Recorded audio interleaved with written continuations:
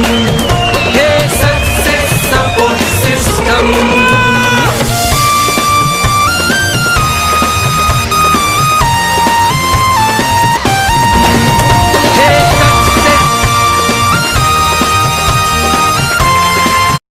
You very much बहुत बहुत शुक्रिया दोस्तों सभी को नमस्कार, आदाब, सत श्रीकाल, जय हिंद, जय भारत, जय श्री कृष्णा।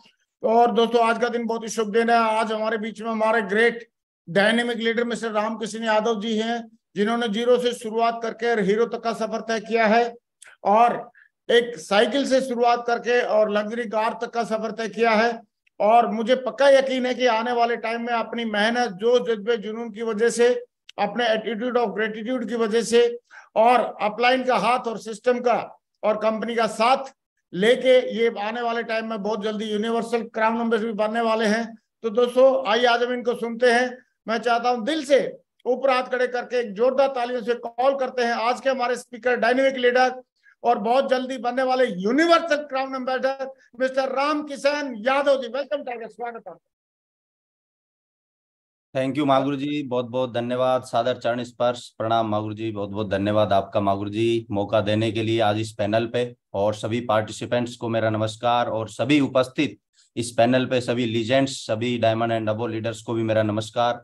सभी का मैं तहे दिल से इस एनर्जेटिक मॉर्निंग में मैं स्वागत करता हूँ आप सभी का और सर का मैं बहुत बहुत धन्यवाद देता हूँ कि इस गजब के शानदार इंडिया लेवल के पैनल पर मुझे बोलने का मौका दिया एक बार फिर से इस पैनल पे आने का मुझे मौका दिया। इसके लिए मैं आभार व्यक्त करता हूँ और बहुत बहुत धन्यवाद देता हूँ मागुर जी। बहुत बहुत धन्यवाद। मागुर जी अ, मैं स्क्रीन शेयर कर सकता हूँ? जी मागुर बहुत बढ़िया। वाह आपका स्क्रीन शेयर हो चुका है और स्लाइड भी ओपन हो रही है। बहुत बढ़िया वंडरफुल शाबाश स्टार्ट कर थैंक यू हैं। जी। बहुत बहुत धन्यवाद। आप सभी का बहुत बहुत स्वागत है। पूरे हिंदुस्तान में जहाँ जहाँ भी इस पैनल से कनेक्ट यूट्यूब लाइव पे और इस पैनल उपस्थित सभी का मैं बहुत बहुत शुक्रिया अदा करता हूँ और सबका आज की इस एनर्जेटिक मॉर्निंग में मैं स्वागत करता हूँ। पूरे सेफ़ शो परिवार की तरफ़ से आप सबका बहुत बहुत स्वागत है।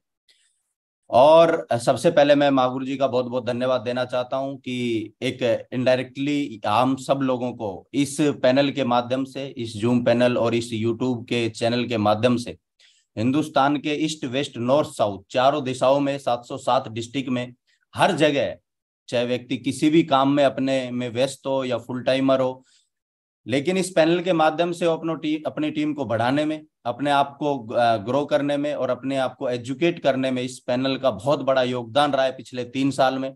और ये हमारे महागुरु जी श्री नरसिंह ग्रेवाल जी के माध्यम और उनके एक विचार उनके एक सोच की वजह से कि हिंदुस्तान के किसी भी कोने में जम्मू कश्मीर से लेकर कन्याकुमारी तक कोई भी व्यक्ति कहीं भी काम कर रहा हो और किसी भी डिपार्टमेंट में काम कर रहा हो कैसे भी बिज़ी शेड्यूल में काम कर रहा हो लेकिन इस पैनल और इस चैनल के माध्यम से वो अपने आप को एजुकेट कर सकता है।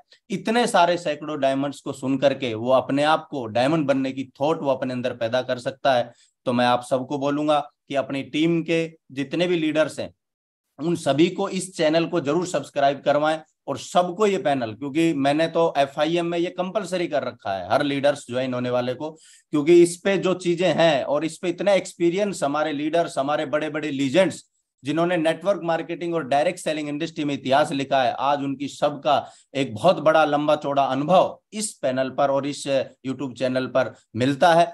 तो मैं सर का बहुत बहुत आभार व्यक्त करता हूँ कि सर इतने सारे लोगों का भला इस चैनल के माध्यम से हो रहा है और इतने सारे लोग एजुकेट हो रहे हैं। तो सर आपका बहुत बहुत धन्यवाद सबसे पहले और मैं आप सबको बोलूँगा कि इस चैनल पर लाइए ज़्यादा से ज़्यादा लोगों को और यहाँ से बहुत सारी चीज़ें सीखने का मौका हम सबको मिलता है। बहुत बहुत धन्यवाद मागू जी आप साथियों सबसे पहले मैं धन्यवाद देना चाहता हूँ अपनी बात स्टार्ट करूँ उस परमपिता परमेश्वर का ईश्वर का जिसको भी जिस रूप में हम मानते हैं।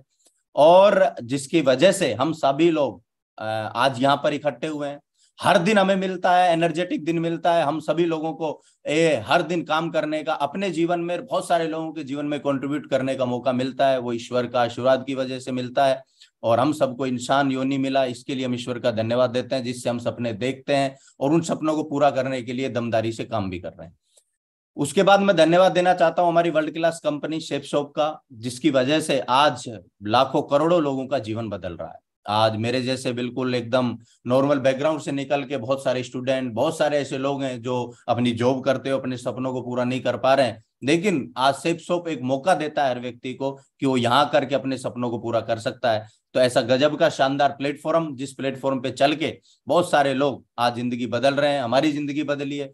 और बहुत सारे लोग हैं जो लाइन में लगे हुए हैं, करोड़ों लोग हैं जो इस बिज़नेस के माध्यम से, इस प्लेटफॉर्म के माध्यम से ज़िंदगी बदलने वाले हैं। और आज सेप्सोप ने साबित कर दिया है नई नई चीज़ें ला करके नए नए हमारे सामने बहुत सारे अपॉर्चुनिटीज़ दे करके हम सबको ये बता दिया है कि सेफ़ शॉप नंबर वन था, नंबर वन है और भविष्य में नंबर वन रहने वाला है। हम बड़े लकी, सौभाग्यशाली हैं कि हमें पहली बार एक ऐसी कंपनी में काम करने का मौका मिला जो आज दुनिया की नंबर वन कंपनी है। तो मैं बहुत अपने आप को लकी मानता हूँ कि सेफ़ शॉप जैसी प्लेटफॉर्म हम सबको मिला है। सक्सेस सपोर्ट सिस्टम का एजुकेशन मुझे मिला, हम सबको मिला। अल्टीमेट अचीवर जैसा ग्रुप मुझे मिला। मैं इन तीनों के कॉम्बिनेशन की वजह से आज यहाँ पर बैठा हुआ हूँ तो मैं चाहता हूँ एक जोरदार ताली बजाइए सेफ़ शॉप के लिए और हमारे सिस्टम के लिए। उसके बाद मैं धन्यवाद देना चाहता हूँ साथियों, हमारे सभी मेंटर्स का, हमारे सभी गुरुओं का, जिनकी वजह से मैं यहाँ तक पहुँचा। क्योंकि आज शायद इनका साथ और हाथ और आशीर्वाद मेरे साथ नहीं होता तो मैं आज आपके बीच में नहीं होता। इनमें हमारे सभी लीडर्स हमारे सभी ग्रेट मेंटर श्री नरसिंह ग्रेवाल जी, श्री देवेश शर्मा जी, श्री सुनेरी लाल जी, श्री हरिशंकर जी, श्री टिकेंद्र सिंह चौधरी साहब, श्री योगेश यादव जी और हमारे साथी लीडर श्री नरसिंह श्री नागल साहब और पवन यादव जी। ये सभी का साथ, सभी का अनुभव, सभी के साथ की वजह से बहुत कुछ इन सबसे सीखने का मौका मिला, सरलों का आशीर्वाद मिला, जिसकी वजह से मेरी ज़िंदगी बदली। साढ़े उन्नीस साल की उम्र में मैंने ये काम करना चालू किया, आज मुझे थर्टी फोर ईयर हो गया है तो लगातार तेरह चौदह साल का जो सफ़र यहाँ पर रहा है, वो बहुत ही शानदार, बहुत ही खूबसूरत, बहुत ही ज़बरदस्त रहा है। जिनमें सबसे बड़ा योगदान मेरे इन सभी ग्रेट मेंटर्स का है। इनके आशीर्वाद की वजह से मैं यहाँ तक पहुँचा हूँ, जिन्होंने हर समय अच्छी स्थिति हो चाहे खराब स्थिति हो बिज़नेस अप हो डाउन हो, हर समय हौसला बढ़ाने का काम किया, हर समय बोला, ये बिज़नेस बहुत बड़ा है, यू आप इतिहास लिख सकते हो। इन्होंने हमेशा मेरी ताकत को याद दिलाया। और हमेशा मेरी ताकत को याद दिला करके और मुझे इस बिज़नेस में बने रहने के लिए हमेशा प्रेरित किया और मुझे पता नहीं चला मेरा तेरह चौदह साल का सफ़र कब पूरा हो गया। तो मैं, मेरे सभी ग्रेट मेंटर्स का भी बहुत बहुत धन्यवाद देना चाहता हूँ, जिन्होंने हमेशा मेरा साथ दिया और जो भी कुछ आज मैं हूँ, मैं इन सब की वजह से हूँ। इन सब के बिना मैं कुछ नहीं हूँ और आज जो भी कुछ हूँ, मैं इन्हीं की वजह से हूँ, क्योंकि ये अगर मेरे जीवन में नहीं आए होते तो मैं शायद आज आपके सामने नहीं होता। स्पेशल धन्यवाद मैं श्री योगेश यादव जी का देना चाहता हूँ।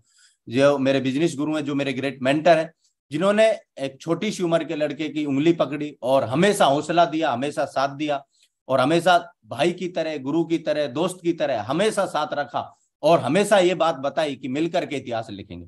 और उनका ये जो सोच था कि मिलकर के बड़ा काम करेंगे, इस सोच की वजह से ही आज हमारा जीवन बदला और आज हज़ारों लाखों लोगों का जीवन बदला। तो मैं बहुत बहुत धन्यवाद देना चाहता हूँ, सर का भी और बहुत जोरदार तालियाँ चाहता हूँ। योगेश जी के लिए बजाइए। उसके बाद मैं धन्यवाद देना चाहता हूँ हमारे सभी डायमंड लीडर्स का, जिनका डायरेक्टली इनडायरेक्टली मुझे साथ मिला हमेशा, और बहुत सारे लोग नेटवर्क में आज से तेरह साल पहले, बारह साल पहले, ग्यारह साल पहले, दस साल पहले ज्वाइन हुए। बहुत सारे लोगों ने साइन अप किया, बहुत सारे लोगों ने इस बिज़नेस में आने का निर्णय लिया, बहुत सारे लोगों ने प्रोडक्ट परचेज किया, लेकिन कुछ लोग थे जिन्होंने एक बड़ा डिसीज़न लिया, जिन्होंने बड़ा निर्णय लिया, जिन्होंने लंबा साथ चलने का मेरे साथ डिसीज़न लिया, वो हमारे सभी डायमंड लीडर्स और हमारी बहुत बड़ी और बहुत ही पावरफुल और बहुत ही ताकतवर टीम जिसका साथ हमेशा मुझे मिला, जिसकी वजह से एक टीम यूनिटी के माध्यम से आज मैं आपके सामने हूँ। तो हमारी टीम का भी बहुत बहुत धन्यवाद, जिन्होंने भी आज यहाँ तक पहुँचाने में मेरी एक भी सेल की मदद की। उन सब का मैं बहुत बहुत धन्यवाद देना चाहता हूँ। साथियों, धरती पे कोई भी व्यक्ति कोई काम करे, कोई यात्रा करे या नहीं करे, मैं आपको बोलूँ कि आप जहाँ भी है, वहाँ से उठ करके आप 500 किलोमीटर दूसरे देश दूसरे शहर की यात्रा करने के लिए जाएँ। हो सकता है आपका मन करे, नहीं करे, लेकिन धरती पे हर एक यात्रा है जो हर आदमी करना चाहेगा और जिसको रात को भी उठा करके एक बजे पूछा जाएगा तो भी वो बोलेगा, यस, और वह सफलता की यात्रा।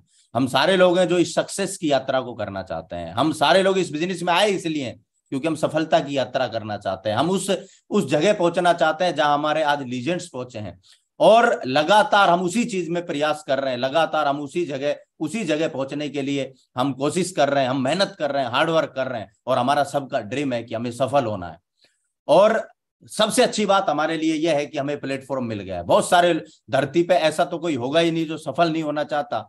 आज यदि किसी भी व्यक्ति से आप पूछोगे कि आप सफल होना चाहते हैं तो ये धरती का सबसे आसान सवाल है जिसका जवाब सबके पास मिलेगा और बोलेगा, यस, मैं सफल होना चाहता हूँ। मैं इस जर्नी को करना चाहता हूँ। मैं इस यात्रा को करना चाहता हूँ। हर लीडर, हर व्यक्ति इस यात्रा को करना चाहता है, इस सक्सेस जर्नी को करना चाहता है। लेकिन देखिए, हम सारे लोग बड़े खुश नसीब हैं कि यात्रा तो हर आदमी करना चाहता है, हम भी करना चाहते थे, लेकिन बहुत सारे लोगों को यात्रा करने के लिए एक प्लेटफॉर्म नहीं मिलता, एक कोई साधन नहीं मिलता। हम सब बड़े लकी हैं कि सेफ़ शॉप के रूप में इस यात्रा को अंजाम देने के लिए हम सबको एक प्लेटफॉर्म भी मिला हुआ है। और हम सारे लोग उस यात्रा को करने के लिए तैयार भी हैं, मेहनत भी कर रहे हैं, बस उस यात्रा को पूरा करने के लिए हमें रुकना नहीं।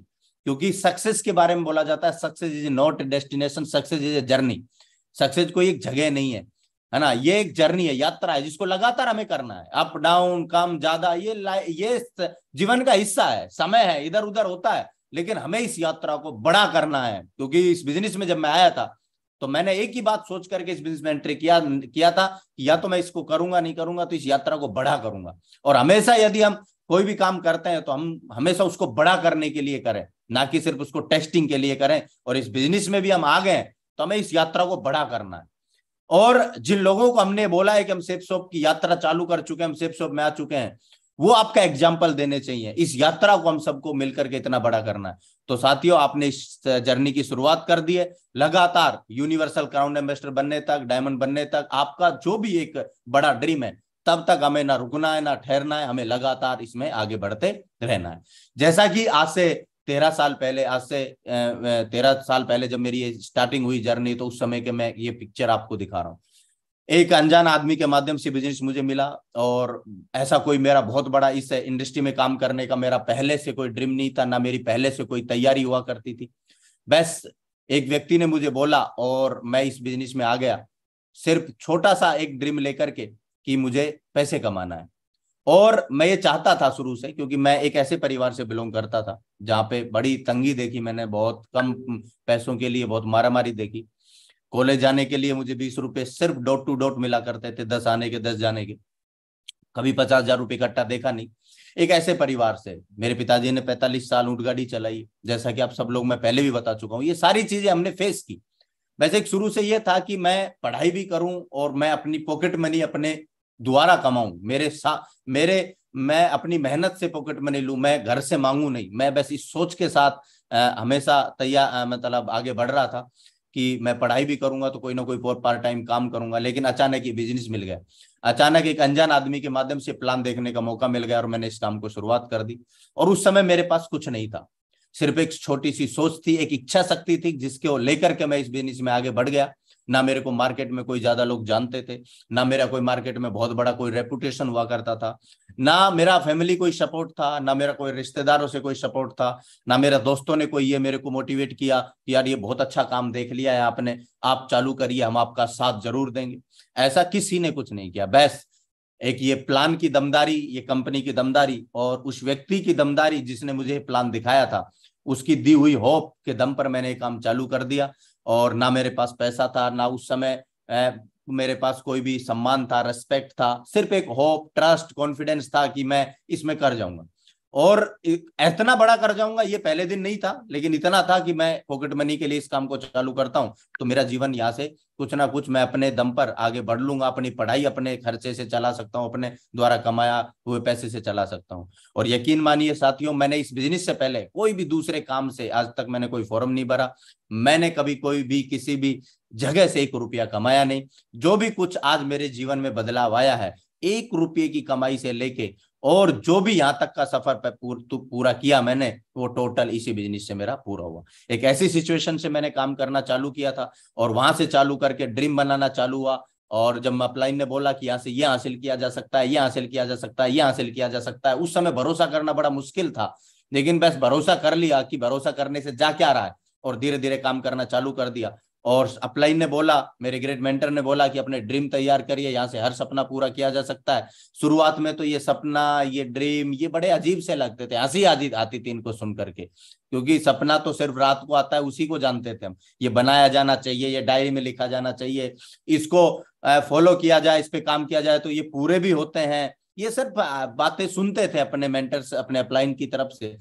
लेकिन बस हमने एक चीज़ थी हमारे अंदर, वो ये था कि हमने उसको फेथ करके ब्लाइंडली फेथ करके उस पर हमने फॉलो करना चालू कर दिया। उन बातों को हमने मानना चालू कर दिया। और एक एक चीज़ को जब मानना चालू किया तो धीरे धीरे ये सारे सपने पूरे होते चले गए हमारे। एक एक चीज़ का ड्रीम बना करके ये सारे ड्रीम, लैपटॉप, मैकबुक, ये सब चीज़ें आती चली गई। जैसा कि आप लोग जानते हैं, ये पहली कार इस बिज़नेस से आई सेवलेट की बीट पौने पाँच लाख की। बाईस साल मेरी एज थी उस समय पे। विश्व, विश्वास और बड़ा और लोगों को भरोसा हुआ कि यार हाँ यहाँ से कुछ किया जा सकता है। और आगे बढ़ा, टीम बढ़ी, इनकम बढ़ी दूसरी कार स्विफ्ट डिज़ायर इस बिज़नेस से ली, फिर और आगे बढ़ते चले गए और इनकम बढ़ती चली गई। तीसरी कार, लग्जरी कार का ड्रीम सत्ताईस साल की एज में मैंने पूरा कर लिया था। और जबकि मेरा, मैं कभी सोचा नहीं करता था जब इस बिज़नेस में आया था, क्योंकि ये जब हम कार हाईवे पे चलती देखते थे तो लगता था कि इनके साथ एक सेल्फी हो जाए। लेकिन इस बिज़नेस से ये सपना भी पूरा हुआ। बीएमडब्ल्यू लेने का सौभाग्य इस बिज़नेस ने मुझे दिया और मेरे जीवन में ये एक ऐसा बड़ा अचीवमेंट ऐड हुआ जिससे बड़े बड़े लोग बड़े बड़े जो मुझे सलाह देते थे, मेरे परिवार में मैं सबसे छोटा था, वो लोग जिनको और तेज़ी से और बड़ा भरोसा हुआ। अभी मैंने फोर्थ कार इस बिज़नेस से करेटा मैडम को गिफ्ट किया लास्ट सावन के सोमवार पर इस बिज़नेस से। तो ये सारी चीज़ें होती चली गई अचीवमेंट फॉरेन ट्रिप होते चले गए अच्छे अच्छे कंट्रीज़ में इस बिज़नेस के माध्यम से टारगेट जीत करके और बहुत जगह जाने का मौका मिला। पेरिस स्विट्जरलैंड स्पेन बड़े बड़े यूरोपियन कंट्री जहाँ पे एक आदमी का, हमारे जैसे नॉर्मल आम आदमी का वीज़ा तक नहीं लग सकता, लेकिन हमारी कंपनी की ताकत है। ये हमारी कंपनी का आज रेपुटेशन है आज मार्केट में कि हज़ारों लोगों का एक झटके से, एक आवाज़ से वीज़ा लग जाता है और हमें भी उसमें सौभाग्य प्राप्त हुआ वहाँ जाने का। ये सारे आनंद स्विट्जरलैंड पे जाकर के ये सब आनंद लेने का मौका मिला। ये एक ब्लैक एंड व्हाइट ज़िंदगी हुआ करती थी। कभी आज से भी तेरह साल पहले। कोई इस जीवन में कोई भी किसी भी तरह का खूबसूरतपन नहीं था, कोई भी किसी भी तरह का लग्जरीपन नहीं था, लेकिन ये सारी चीज़ें इस बिज़नेस से होती चली गई। और ये सब चीज़ें ऐड हो गया। अभी लेटेस्ट वियतनाम घूम के आए। ये वियतनाम के कुछ पिक्चर्स हैं, जहाँ पे बहुत ही शानदार, मेरे लाइफ की सबसे ज़बरदस्त और धुआंधार, एकदम ज़बरदस्त ट्रिप ऑर्गेनाइज हुई है। कंपनी की तरफ़ से जिसका एंजॉय करने का हम सबको मौका मिला। तो इस तरह से थर्टीन टाइम में फॉरेन ट्रिप इस बिज़नेस से अब तक कर चुका हूँ। खुद का मकान फ्लैट लेने का मौका मिला, एक करोड़ रुपए का विद इंटीरियर ये सारी चीज़ें जहाँ पे आज मैं और मेरा परिवार रहता है, ये सब बहुत ही लग्जरी फ्लैट है, बहुत ही लग्जरी जगह है जहाँ पे हमें सौभाग्य मिला यहाँ रहने का, वरना कभी हमारा ड्रीम नहीं हुआ करता था। जहाँ अंदर ही स्विमिंग पूल मिलेगा जिम मिलेगा कोर्ट मिलेगा जिम मिलेगा लाइब्रेरी मिले, सब चीज़ आज इसमें अंदर सुविधाएँ यहाँ पे रहने का मौका मिला, दो लाख कैपिंग पे जाने का मौका मिला, तीन लाख सोलह हज़ार का चेक बनाने का इस बिज़नेस में मौका मिला, है ना? ये अकाउंट में भी आता है। चार लाख की कैपिंग हुई, चार लाख का भी चेक बनाने का सौभाग्य इस बिज़नेस से प्राप्त हुआ, है ना? और ये अकाउंट में भी जनरेट हुआ। ये सारी चीज़ें लगातार होती चलेगी, ढाई करोड़ नबो के क्लब में कंपनी ने अपने जो हमारा सौभाग्य प्रोग्राम हुआ, उसमें हमें रिकग्नाइज होने का और सम्मान लेने का स्टेज पे मौका मिला। और इस क्लब में एंट्री करने का मौका और सौभाग्य इस कंपनी ने मुझे दिया, ये सम्मान मिला। ये सारी चीज़ें, एक ज़ीरो से ये सारी चीज़ें हासिल जो मैं बता रहा था आपको कि टोटल इस बिज़नेस की वजह से पॉसिबल हो पाया है। और मैं आपको ये विश्वास दिलाता हूँ कि जब मेरे जैसे एक स्टूडेंट, एक आम परिवार से निकल के, एक स्टूडेंट के जीवन में ये सारी चीज़ें आ सकती हैं तो आप और हमारे सबके जीवन में ये आ सकती हैं। लेकिन ये सारी चीज़ें हमारे जीवन में यदि पॉसिबल होती हैं तो उसके पीछे एक काम हम सबको करना पड़ता है, जो पहले दिन मुझे समझाया था मेरे ग्रेट मेंटर ने, और ये साज हमें भी समझने की ज़रूरत है। ये वर्क एक्चुअल में इंडिविजुअल शुरू करके इंडिविजुअल खत्म करने का नहीं है। यदि हम इंडिविजुअल अकेले इस बिज़नेस में आ ज़रूर सकते हैं, लेकिन अकेले इस बिज़नेस में कभी भी हम अंजाम तक और उस यात्रा को कंप्लीट नहीं कर सकते। हमें उस यात्रा को कंप्लीट करने के लिए, हमें उस यात्रा को बड़ा करने के लिए, हमें ये सारे ड्रीम जो मैंने देखे धीरे धीरे पूरे किए अभी मेरी शुरुआत, अभी मैंने कुछ नहीं किया है, मेरा इस बिज़नेस में बड़े बड़े, बहुत ड्रीम है। हज़ारों लोगों को डायमंड बनाने का ड्रीम है। मैं मैं इस बिज़नेस में बहुत बड़े मकसद के साथ अभी चल रहा हूँ, क्योंकि अभी तो हम जवान है। अभी तो हमने काम करना सीखा है। अभी तो हमने अंगड़ाई ली है। अभी तो बहुत बड़ी पारी खेलना बाकी है। और जब हमारे ग्रेट मेंटर आज इतने जोश जुनून के साथ आज लगातार 24 घंटे डेडिकेशन के साथ काम कर रहे हैं तो अभी तो हमारी शुरुआत है। तो हमें अभी बहुत कुछ करना है। लेकिन मैं आपको ये बताना चाह रहा था कि इस काम को अंजाम देने के लिए हमें एक काम करने की ज़रूरत होती है, जिसको बोलते हैं टीम बनाना। ये टीम वर्क है और हम सारे लोग इस टीम वर्क में आ गए हैं। और यदि हम इस बिज़नेस में आ गए हैं तो फिर हमें सीरियस हो जाना चाहिए टीम बनाने के लिए। है ना? हम आज अकेले हैं, लेकिन हमें सात दिन बाद अकेला नहीं रहना चाहिए। हमें अपने साथ हमारे दो लोग और होने चाहिए। अगले पंद्रह दिन में हमारे साथ दस लोग होने चाहिए। हमें पचास, अगले एक साल के अंदर अंदर हमारे पास हज़ारों लोगों का कारवा होना चाहिए। इस मकसद और इस ड्रीम के साथ जब हम आगे बढ़ेंगे, तभी हम इन अचीवमेंट में पहुँचेंगे हम। हम यदि टीम बनाने पे ध्यान दे देते हैं फ़र्स्ट टीम बनाने पे ध्यान दे देते हैं, अर्जेंसी पैदा कर देते हैं टीम बनाने की तो फिर ये अचीवमेंट्स की हमें चिंता करने की ज़रूरत नहीं है। ये सारे अचीवमेंट बाई प्रोडक्ट हमारे पास आने वाले हैं, क्योंकि आप बने हैं ये सारे अचीवमेंट्स के लिए। बस एक ही चीज़ है कि हम अपनी टीम बनाने पे फोकस करें। और टीम बनाने के लिए हमें ये कुछ चीज़ है जिन पे हमें फोकस करना होता है, जिनको लगातार हम सुनते हैं। हमें लिस्ट को बड़े से बड़ा बनाना होता है। लिस्ट बड़ा बनाना होता है और टीम में हर ज्वाइन होने वाले का लिस्ट बनवाना पड़ता है। क्योंकि यहाँ से हमारा बीज है जैसा कि बोला जाता है ना कि हम हज़ारों क्विंटल अनाज पैदा करना चाहते हैं तो हमें कुछ किलो अनाज डालना पड़ता है। तो ऐसे ही है जब हम बड़ी टीम बनाना चाहते हैं तो एक लिस्ट हमें शुरुआत करनी पड़ती है कुछ लोगों के साथ, वो लिस्ट बिल्ड करनी होती है। दूसरा काम, हमें वो जो लिस्ट बनाते हैं, उस पर हम, हमें लोगों को इनविटेशन करना होता है। हमें लोगों के साथ चर्चा करनी होती है। हमें लोगों के साथ इस प्लान को बारे में चर्चाएँ करनी होती है। हमें उनको इन्वाइट करना होता है। जहाँ भी हम उनको इस प्लान को दिखाना चाहते हैं, जहाँ भी हम सेप सोप की डिटेल समझाना चाहते हैं इस प्लान की, वहाँ के लिए हमें उनको इन्वाइट करना होता है। ये दूसरा बड़ा बेसिक है। तीसरा है जब उनको इनवाइट करते हैं हम उनसे समय लेते हैं तो हमें उनको प्लान भी दिखाना होता है। हमें उनको प्लान भी दिखाना होता है। और जब हम प्लान दिखाते हैं तभी हमारी टीम क्रिएट होती है तभी हमारी टीम बनती है। और टीम बनाने के ये तीन सबसे बड़े बेसिक है और चौथा सबसे बड़ा बेसिक है हर प्लान दिखाए हुए का हमें फॉलोअप करना होता है। हमें उनको समझाना होता है हमें उनको बताना होता है। तो ये चार बेसिक है जिनसे हमारी टीम बनती है। इन्हीं चार बेसिक से हमारी दस लोगों की टीम बनती है और इन्हीं चार बेसिक से हमारी दस हज़ार की टीम बनती है। इन्हीं चार बेसिक को करने से हमारी ये टीम बनाने के सबसे बड़े बेसिक हैं, जिनका बड़ा योगदान होता है, जिनका बड़ा, जैसे एक कार को चलाने के लिए चार पहिए का सबसे बड़ा योगदान होता है। ऐसे ही इस बिज़नेस में हज़ारों लाखों करोड़ों की टीम बनाने में इन चार चीज़ों का बड़ा योगदान होता है। तो हमने ये बड़ी से बड़ी लिस्ट बनाने पे और बनवाने पे, ज़्यादा से ज़्यादा इन्विटेशन करने पर करवाने पे, ज़्यादा से ज़्यादा प्लान करने पर करवाने पे और ज़्यादा से ज़्यादा लोगों का फॉलोअप करने पर करवाने पे हमें फोकस करने की ज़रूरत होती है। तब हमारी बड़ी टीम क्रिएट होती है। अब जब हम टीम क्रिएट करते हैं तो हमें एक चीज़ की ज़रूरत होती है, जो लास्ट पॉइंट मैंने बताया फॉलोअप करने की। अब फॉलोअप जब करते हैं तो आज का जो टॉपिक है, उस पर मैं पहुँचता हूँ।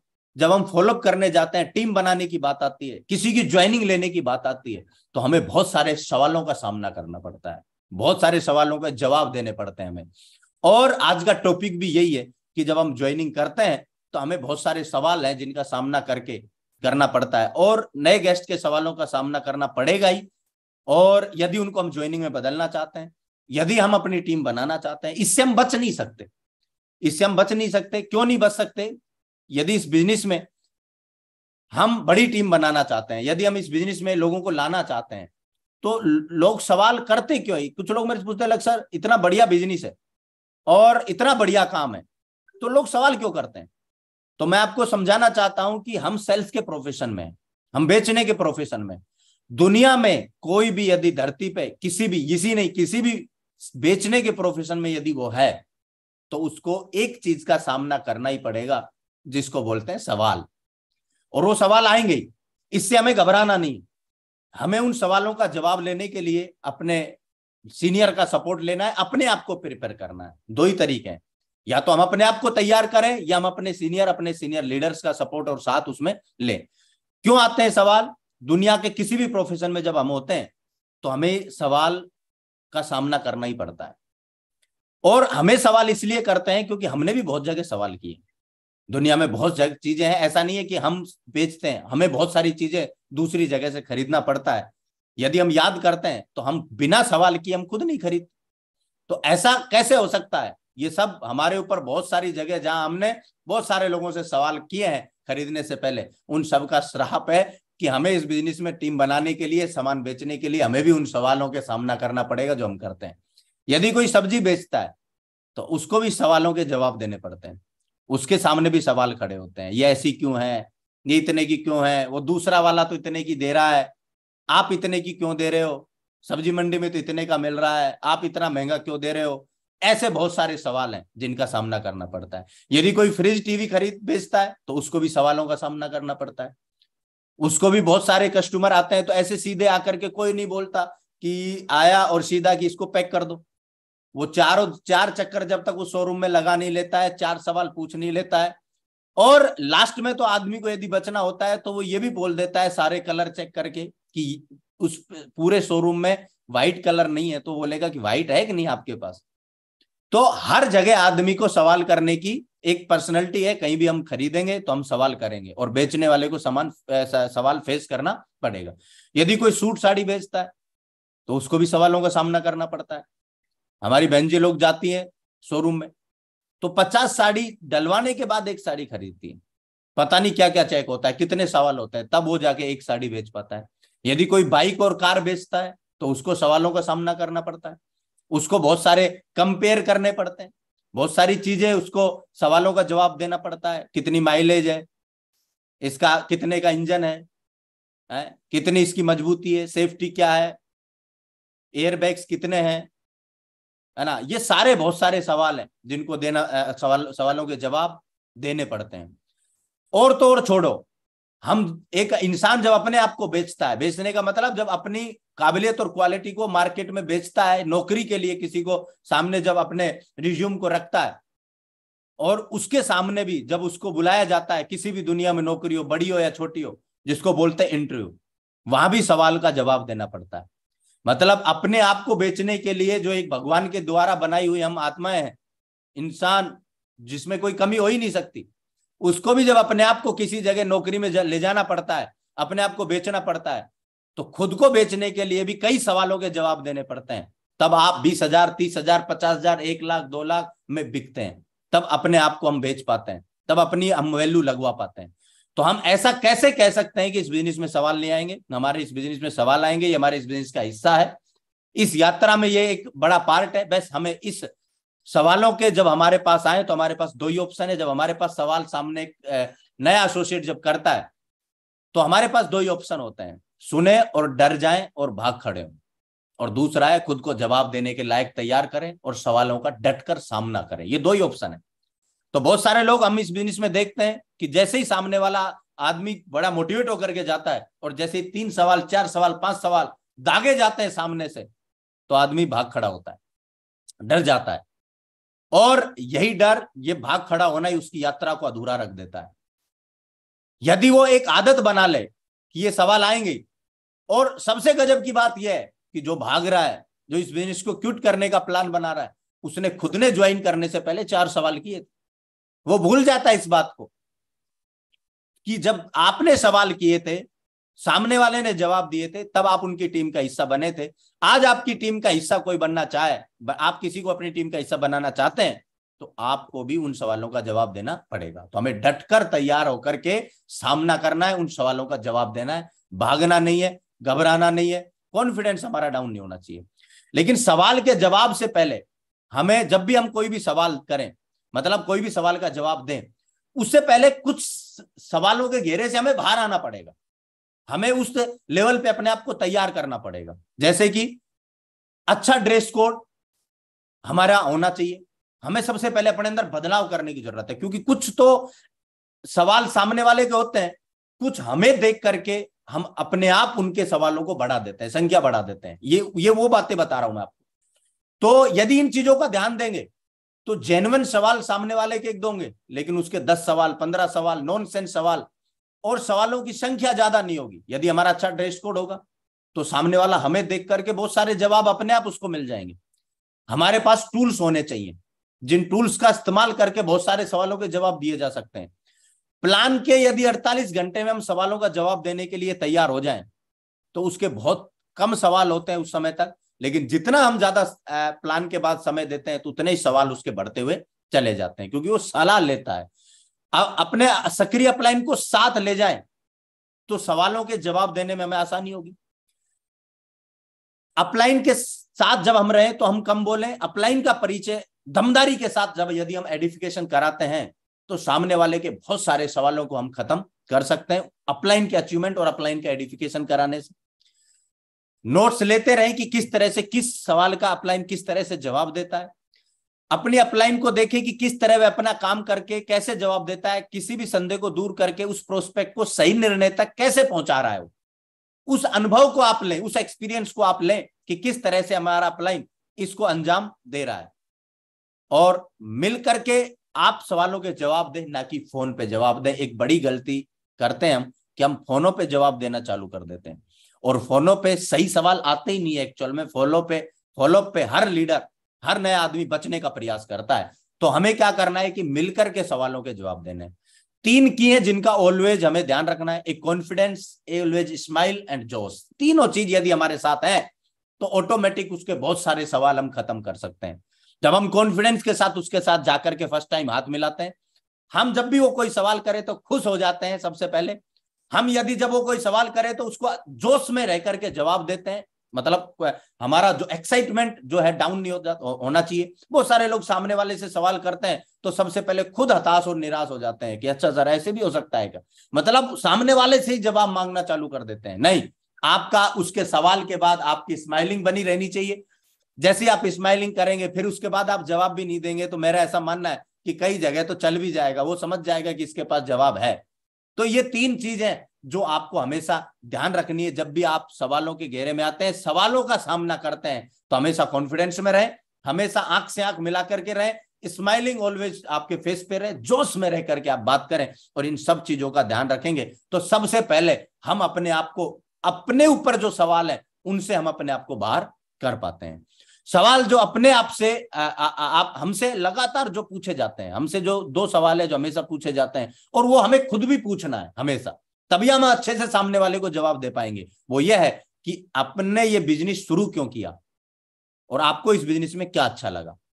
ये दो सवाल का जवाब यदि आपके पास है, और ये दोनों सवाल, जब आदमी पहला सवाल करता है, उन दोनों सवालों में यदि ये दोनों चीज़ें आप क्लियर करते हैं, या जाकर के फ़र्स्ट इंट्रोडक्शन जब आप करते हैं तो आप उस इंट्रोडक्शन में ये दोनों सवालों का जवाब देते हैं तो बहुत सारे सवाल इनडायरेक्टली आप उनके क्लियर कर सकते हैं। जब आप अपना इस बिज़नेस का विजन बताते हैं कि बिज़नेस सर कितना पावरफुल है, मैंने भी सर आप ही की तरह प्लान देखा था और उसके बाद ये बिज़नेस मैंने इसलिए चालू किया, इसलिए चालू किया, इसलिए चालू किया, इसका विजन देखा, इसमें इतने सारे लोगों को ग्रो करता हुआ देखा, ये बिज़नेस इतना पवित्र बिज़नेस है, इसमें हम कर क्या रहे हैं? तो ये सारी चीज़ें जब हम उसके साथ शेयर कर देते हैं तो बहुत सारे सवालों के जवाब तो हम उनको प्लान के बाद या अपने इंट्रोडक्शन में हम क्लियर कर सकते हैं। ये बिज़नेस में मुझे अच्छा क्या लगा? नहीं इन्वेस्टमेंट नहीं होता है यहाँ पर। यहाँ पर किसी भी व्यक्ति का इन्वेस्टमेंट करवाने की ज़रूरत नहीं पड़ती। ये इतना गजब का काम है कि हर व्यक्ति के सामने वाले की रिक्वायरमेंट और ज़रूरत की चीज़ें आज हमारे पास हैं। शॉपिंग धरती पे हर आदमी करता है। तो मैंने सोचा कि जब हर आदमी शॉपिंग कहीं ना कहीं से फ्लिपकार्ट, अमेजोन हर जगह से करता है तो हमारे यहाँ से कर लेगा तो उसको एक अपॉर्चुनिटी मिल जाएगी। तो इस तरह से जब इन दो सवालों का जवाब, जो ज़्यादातर हमसे पूछा जाता है हमारे पास, खुद के पास भी, अपने आप से भी हमें ये पूछना है और इनका जवाब हमारे पास हमेशा होना भी चाहिए। और जब हम ये सवालों के जवाब देते हैं तो बहुत सारे सवालों के जवाब हम उनको ऑटोमेटिक इनडायरेक्टली उनके बहुत सारे सवालों के जवाब क्लियर हो जाते हैं। सवाल जवाब एक नियम है। एक नियम है सवाल जवाब का कि या तो हम दें उसके सवालों के जवाब या फिर एक और से लेगा। जब कोई व्यक्ति प्लान देख लेता है तो उसके सवाल दिमाग में आना लाजमी है क्योंकि इतना हमारा सव, इतना हमारा प्लान ज़बरदस्त है कि इस प्लान को देखने के बाद प्लान को सुनने के बाद सामने वाले व्यक्ति के दिमाग में सवाल खड़े ही आते ही हैं क्योंकि वो इस बिज़नेस को लेकर के मतलब थोड़ा एक रात उसको नींद नहीं आती क्योंकि इतना पावरफुल दो लाख सप्ते चार लाख सप्ते का बिज़नेस है। तो अपने आप से सवाल तो कर लेगा, लेकिन जवाब वो खुद सही नहीं दे पाएगा। और किसी तीसरे से पूछेगा तो वो भी नहीं दे पाएगा। तो हमें क्या करना है कि हमें उसके सवालों का जवाब समय पे जाकर के हमें खुद को देना है। वो किसी और से पूछे, उससे ज़्यादा बढ़िया है कि उसके सवालों के जवाब हम खुद क्लियर करें। सामने वाले, कुछ सवालों का जवाब देते समय हमें कुछ चीज़ों का है, ध्यान रखना है। सामने वाले को सुने और फिर जवाब दे। कई बार क्या करते हैं, हम जाकर के अपनी अपनी गाना शुरू कर देते हैं। पता चल रहा है कि सामने वाले के तकलीफ़ कुछ और है, हम दवाई कुछ और ही देते जा रहे हैं दबा के, और फिर उसको रिएक्शन ही कर गई। तो सामने वाले की सबसे पहले हम सुने, और उसकी असली नस, और असली प्रॉब्लम्स को समझ करके उसको उसी प्रॉब्लम का हम जवाब दें, उसी समस्या का हम उसको, उसी सवाल का हम जवाब दें, जो उसका जेनवन उसको सवाल है, जो उसको इस बिज़नेस में आने से रोक रहा है। वो कब होगा? जब हम उसको सुनेंगे। Common repo third party video इनका ज़्यादा फ़ायदा ले सवाल में हम। कोई भी वो सवाल करता है तो उसमें हम थर्ड पार्टी का ज़्यादा योगदान रहे वीडियो का ज़्यादा योगदान रहे थर्ड पार्टी का ज़्यादा योगदान लें। जैसे किसी व्यक्ति का कोई सवाल आता है कि, सर, मैं ऐसे कैसे कर पाऊँगा? तो आप उससे इस बात को लेकर के उसको ये ना बोले, नहीं सर, आप कर सकते हैं आप के अंदर ये है, आपके अंदर ये ना, आप उसके जैसे व्यक्ति की कॉमन रेपो करा दें। कोई आर्मी का है तो आर्मी देखो, सर इसने कर लिया, आप क्यों नहीं कर सकते? टीचर है तो सर, इसने किया है, देखो, आप भी कर सकते हो। इस तरह से इसका ध्यान दें। लोक व्यवहार का ध्यान रखें ज़रूर। लोक व्यवहार ज़रूर ध्यान रखें। सामने वाले का फ़र्ज़ है कि वो कैसा भी सवाल कर सकता है, लेकिन हमें अपनी लोक व्यवहार का, सामने वाले के सम्मान का ज़रूर ध्यान रखना है। कपल में बैठा करके सवालों के जवाब दे, वरना कई बार क्या होता है कि एक के सवालों के जवाब देने के बाद आपको दोबारा या तो वो मौका ही नहीं देता। अपनी, जैसे वाइफ है तो अपने हस्बैंड को मिलवाने का, या हस्बैंड है तो अपनी वाइफ से मिलवाने का, या भाई है तो अपने लड़का है तो अपने पिताजी से मिलवाने का। यदि हम साथ ही बैठा लेते हैं तो एक साथ ही जवाब दे दे, देंगे तो उससे हमारे ज़्यादा रिज़ल्ट आने के चांसेस होंगे। विवाद नहीं करना, जब हम सवाल जवाब करें तो वहाँ पे विवाद नहीं होना चाहिए। बीच में नहीं बोलना। सामने वाला बोल रहा होता है तो एग्रेसिव हो जाते हैं कई बार हम। मतलब ऐसे कैसे बोल दिया आपने? ऐसे कंपनी के बारे में कैसे बोल दिया? नहीं एग्रेसिव ना होकर के उसको सुनो और बस एक चीज़ है, मुस्कुराते रहो। मुस्कुराते रहो, उत्साह में रहो। सामने वाले की खुशी के बारे में बात करते रहो। दुखी नहीं होना, कैसा भी जवाब जवाब देता रहो, कैसा भी सवाल करता रहो, और लास्ट में रिज़ल्ट और अंतिम पड़ाव कुछ भी हो, लेकिन एग्जिट रॉयल होनी चाहिए आपकी। हमें परेशान होकर के निकलना नहीं। उसका एक रास्ता है जो आपको खोल करके निकलना है फ्यूचर में वो आपके साथ आपकी टीम में जुड़े। वो है कि आप रॉयल एग्जिट करें, उससे ज़बरदस्त हाथ मिला करके और उसको गले लगा करके कि, सर, कोई बात नहीं, आज हो सकता है आपकी स्थिति नहीं है, लेकिन जिस दिन होगी आपकी स्थिति, उस दिन ये मेरे नंबर पकड़िए, आप ज़रूर मेरे से मुलाकात करना। तो इस तरह से जब सवाल जवाब हो फॉलोअप के बाद तो उसमें हमें इन सब चीज़ों का ज़रूर ध्यान देना है, क्योंकि हम सवाल जवाब के दौरान बहुत सारी चीज़ें हैं जिनका हम ध्यान नहीं रखते। फिर हम चाहे कितना भी अच्छा जवाब दे देते हैं तो भी वो व्यक्ति हमें ये अपने आत्मा दिल में, दिमाग में ये तय कर चुका होता है कि मुझे इस व्यक्ति के साथ ज्वाइन नहीं करना। और वो कब होगा? जब हम इन चीज़ों का ध्यान नहीं रखेंगे।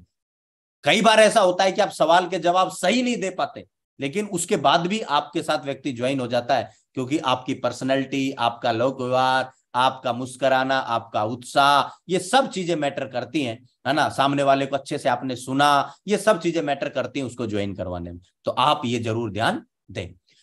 उसके बाद जब सवाल जवाब हो, उससे पहले एक नियम है जिसका हम ज़रूर ध्यान रखें, जिससे आपके सवाल जवाब बहुत ही परफेक्शन के साथ और बहुत ही अच्छे से आप किसी भी व्यक्ति को दे पाएँगे। वो है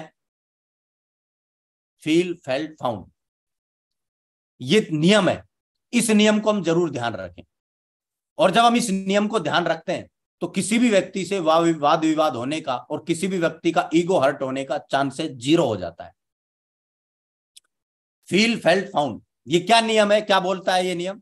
कि जब भी कोई व्यक्ति सवाल करे तो उस सवाल में उसको उसकी सह, उसकी सहमति जताइए आप कि आप बिल्कुल सही कह रहे हैं फील का मतलब। तो उसको इस बात से खुशी होगी कि मैंने सही बोला है। दूसरा होता है फेल्ट। मेरा भी यही मानना था। फिर उस उसमें आप अपने आप को शामिल कर लीजिए। उसको और ज़्यादा खुशी होगी। इन्वॉल्व कर लीजिए कि मेरा भी यही मानना था। और तीसरा आता है फाउंड लेकिन इस असली जवाब जाएगा उसके पास। लेकिन जब मैंने जाना तो ऐसा नहीं, ऐसा था। जवाब भी दे दिया आपने। उसकी असहमति भी नहीं हुई। उसको दुख भी नहीं हुआ। अपने आप को भी इन्वॉल्व कर लिया। उसका एकदम ईगो भी हट नहीं हुआ। उसका हौसला भी बढ़ा। और आपने जवाब का जवाब भी दे दिया। ये नियम हमेशा हम सबको याद रखना है किसी भी सवाल का जवाब देने से पहले। Feel, fail, found. इस नियम को जब हम ध्यान रखते हैं तो किसी भी व्यक्ति से विवाद विवाद विवाद होने का, रिलेशन खराब होने का हमारा कोई चांसेज बनता ही नहीं। अब कुछ सवाल है जो कि आजकल वैसे बहुत कम आते हैं, क्योंकि आज हमारा इतना पावरफुल और आज हमारी कंपनी इस लेवल पर है, आज इतने बड़े बड़े अचीवर्स हैं, आज हमारे साथ और आज सेप सोप ने अपने आप को इस जगह पर ले जा करके स्थापित किया है कि बहुत सारे सवाल आज लोगों के खत्म है जो सेप सोप के बारे में जानते हैं। लेकिन फिर भी कुछ सवाल है जो आते हैं ज्वाइनिंग के समय, उनका जवाब हमको देना पड़ता है, सामना हम सबको करना पड़ता है। ये कुछ सवाल है जिनका हमें सामना करना पड़ता है। मेरे पास पैस, मेरे पास ऐसे काम के लिए समय नहीं है। मैं बेच नहीं सकता, मैं पैसे नहीं मांग सकता। मैं जुड़ तो जाऊँगा, लेकिन क्या गारंटी है कि नेटवर्क में लोग काम करेंगे? है ना? अगर कंपनी भाग गई तो ऐसे बहुत सारे सवाल है, ये सवाल का जिनका सामना हमें करना पड़ता है। और इन सवालों, ये सवाल कम आए, इसके पीछे मैंने आपको बता दिया है कि आपको कॉन्फिडेंस में रहना है हमेशा। सामने वाले के साथ फ़र्स्ट इंट्रोडक्शन आपका कॉन्फिडेंस के साथ होना चाहिए। और जब ये सवाल आते हैं तो इनके जवाब देने से पहले हमें उस नियम का ज़रूर पालन करना है। जैसे ही किसी व्यक्ति ने पूछा बोला आपसे, सबसे पहला मेरे पास, ऐसे काम के लिए समय नहीं है। उसको बोलना, सर, आप बिल्कुल सही कह रहे हैं। मेरा भी यही मानना था। मैं भी ऐसा ही सोचता था, क्योंकि मैं भी बहुत बिज़ी था। लेकिन जब मैंने इस बिज़नेस में देखा और मैंने ऐसे बहुत सारे लोगों के बारे में सुना, उन बहुत सारे लोगों के बारे में देखा, जो 18-18 घंटे 16-16 घंटे की आर्मी में अलग अलग जगह पर, बहुत जगह जिनकी 24-24 घंटे की बिचारों की ड्यूटी रहती है, उसके बावजूद उन्होंने इस बिज़नेस में एक बड़ा कीर्तिमान स्थापित कर रखा है, सर। उसके बावजूद उन्होंने इस बिज़नेस में बड़ी बड़ी कार लग्जरी कार तक अचीव कर रखी है सर तो वो लोग जब कर सकते हैं तो मेरा ऐसा मानना है कि सर आप भी कर सकते हैं। दूसरा कि सर समय 24 घंटे ही आपके पास है 24 घंटे ही प्रधानमंत्री के पास है 24 घंटे एक बहुत बड़े सफल व्यक्ति जो इस बिज़नेस में उसके पास है। बात यह नहीं है कि समय काम करने के लिए, इस काम के लिए नहीं है। बात यह है कि थोड़ा सा समय का अभी तक आपका मैनेजमेंट नहीं है। अपन दोनों भाई बैठ करके मैं आपका समय का मैनेजमेंट बनवाता हूँ सर आप ज़रूर इस बिज़नेस के लिए, यदि हमने अपने समय को मैनेज कर लिया तो इस बिज़नेस के लिए भी आप समय निकाल सकते हैं। तीसरा, इस बिज़नेस के लिए आपको 18 घंटे की देने की ज़रूरत नहीं है। इस बिज़नेस को आप तीन घंटे, चार घंटे, पाँच घंटे, छह घंटे करके भी इस बिज़नेस में आप सफल हो सकते हैं। चौथा इस बिज़नेस को मैं आपको कोई एक टाइम ड्यूरेशन में करने की ज़रूरत नहीं होती है कि आपको आठ से पाँच की ड्यूटी देनी है। आप सुबह फिरिए, सुबह करिए, दोपहर में फिरिए, दोपहर में करिए, शाम को फिरिए, शाम को करिए, रात को फिरिए, रात को करिए। जब भी आप समय निकालें, वो कर सकते हैं। सबसे बड़ी बात कि सर, समय, अब ये तो रस्ते समय निकालने के लिए समय समय निकालना क्यों है? उसके लिए आपको ये तय करना पड़ेगा कि जो काम जिसमें आप अपना 18 घंटे या 16 घंटे या 12 घंटे आज आप दे रहे हैं उस समय देने से आपको आउटपुट क्या मिल रहा है? जो इनपुट आप आज डाल रहे हैं, उससे आउटपुट क्या मिल रहा है? आज आप 16 घंटे दे करके आप पचास हज़ार, चालीस हज़ार, तीस हज़ार का इनपुट निकाल पा रहे हैं, जो भी है, आप जानते हैं। लेकिन इस बिज़नेस में आज छह घंटे दे करके लोग दो लाख, सप्ते आठ लाख महीने का, सोलह लाख महीने का इनपुट निकाल रहे हैं। लाखों रुपए का इनपुट निकाल रहे हैं। विदेश यात्रा का इनपुट निकाल रहे हैं। तो हम इनपुट क्या दे रहे हैं? आउटपुट क्या निकाल रहे हैं? ये मैटर करता है। आज जिस काम को आप कर रहे हैं, उसमें अगले तीस साल यदि इसी पैटर्न के साथ आपने इतना ही समय डाला तो आपको वही मिलने वाला है जो अभी तक मिला है। लेकिन साथ में आपने पार्ट टाइम इस बिज़नेस को लिया और थोड़ा थोड़ा भी समय डाला तो आने वाले समय में तो पैसा तो आपके पास आएगा ही आएगा, लेकिन समय भी थोड़ा थोड़ा समय डालने से बड़ा समय एक दिन आपको कमाने का मौका मिलेगा और ये समय नहीं होने की प्रॉब्लम भी यहीं से ही आपकी खत्म हो सकती है, क्योंकि आज हमारे साथ श्री नरसी गिरीवाल जी हमारे ग्रेट मेंटर हैं, जिनके पास आर्मी में रहते हुए 24 घंटे की ड्यूटी हुआ करती थी, लेकिन आज उनके पास 24 घंटा अपने लिए होता है। आज वो 12-12 देशों की यात्रा पे चले जाते हैं, एक साथ, और जितना खर्च नहीं करके आते, उससे कई गुना पैसा उनके पास उस दौरान अकाउंट में आ रहा होता है। तो इस तरह से हम उनको जवाब दे सकते हैं। दूसरा, मैं बेच नहीं सकता। सबसे पहली चीज़ धरती पे, सर, कि आप इस बिज़नेस में नहीं होंगे। तब भी आप कुछ ना कुछ किसी ना किसी जगह पर आप कहीं ना कहीं कुछ ना कुछ बेच रहे होंगे। आप कुछ भी नहीं बेच रहे। आज हम अपने आप, कहीं नौकरी हम कर रहे हैं, हम खुद को बेच रहे हैं। कहीं ना कहीं कहीं ना कहीं जाकर के कुछ ना कुछ आज हम प्रमोट ज़रूर कर रहे हैं मार्केट में।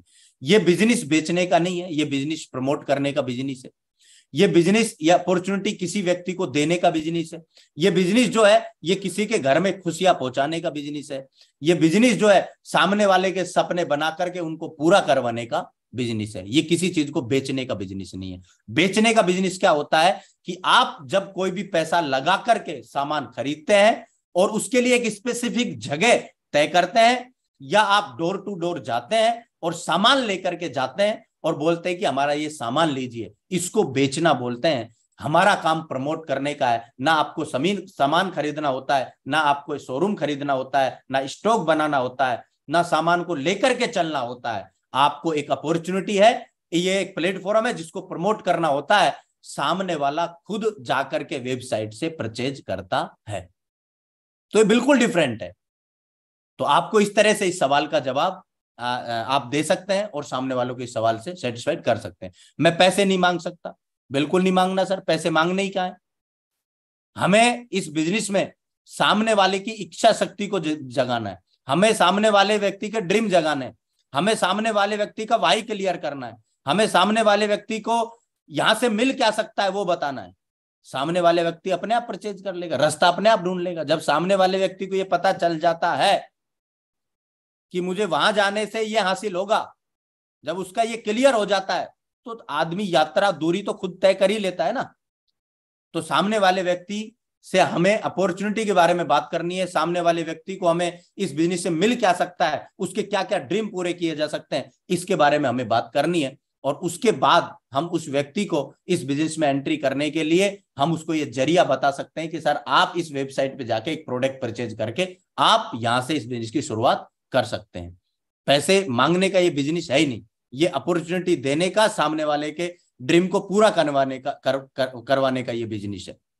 तीसरा चौथा मैं जुड़ तो जाऊँ लेकिन इसकी क्या गारंटी है कि मैं नेटवर्क में लोग मेरे नेटवर्क में लोग जुड़ेंगे या काम करेंगे? वैसे तो सर देखिए गारंटी किसी चीज़ की होती नहीं है।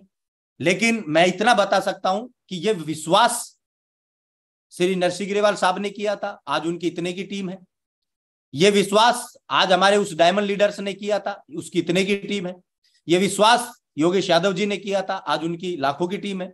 देवेश शर्मा जी ने किया था, उनकी लाखों की टीम है। सुनील लाल जी ने किया था, लाखों की टीम है। माधव सर ने किया था उनकी इतने की टीम है? जसवीर सर ने किया था, उतने की टीम है। विकास जी ने किया था, पवन जी। सब का एग्ज़ाम्पल देखा आज उनकी टीम। पहले दिन उनको भी हो सकता है ये बात का भरोसा नहीं होगा। लेकिन जब उन्होंने इस काम को चालू किया तो मैं आपसे पूछना चाहता हूँ कि क्या उनकी टीम बनी कि नहीं बनी? सामने वाले बोलेगा, यस, बिल्कुल बनी। तो आप भी जब चालू करेंगे तो क्या धरती पे आपके हिस्से के लोग भी बचे कि नहीं बचे जो आपके साथ आकर के आपके साथ काम करेंगे? लेकिन आएँगे किसके साथ? जो खुद ज्वाइन करके काम करना चालू करेगा। भगवान ने धरती पे हर आदमी का हिस्सा दे रखा है। बसरते उस हिस्से को लेने के लिए हम आगे बढ़े, हम शुरुआत करें। हमारे साथ लोग ऑटोमेटिक ज्वाइन करना चालू कर देंगे। दूसरी चीज़, हमारा एक सिस्टम बना हुआ है। आपको लोगों को ज्वाइन शुरुआत में करवाना ही नहीं हमारा एक सिस्टम है कि आप संडे के प्लान में लेकर के आइए। आप हमारा सहयोग लीजिए शुरुआत के। जब आपकी शुरुआत में दस बीस पचास की टीम बनेगी तो उसमें हम आपका सहयोग करेंगे। और हाँ, आपका काम है लोगों को मुलाकात करवाना उनको समझाना और इस बिज़नेस में लाने का ज़िम्मेदारी हम लेते हैं। उसमें आपके विश्वास की ज़रूरत पड़ेगी। आपकी टीम पक्का बनेगी। आपसे कमज़ोर कमज़ोर लोग ऐसे ऐसे लोग जो अंडे की रेडी लगाते थे पानी के पतासे की रेडी लगाते थे रफू करते थे टेलर थे दूध की डेयरी चलाते थे, कम पढ़े लिखे थे। देखिए, उन्होंने इतनी बड़ी बड़ी टीम बना दी। अपंग थे, छोटी हाइट के थे, उन्होंने इतनी बड़ी बड़ी टीमें बना दी। आपकी भी टीम बनेगी।